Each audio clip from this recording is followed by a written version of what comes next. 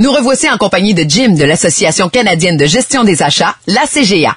Jim, vous nous parliez du titre de PGCA. Que représente ce titre et quelle est son importance? Le titre de professionnel en gestion de la chaîne d'approvisionnement est très important pour quiconque veut évoluer au sein de la profession.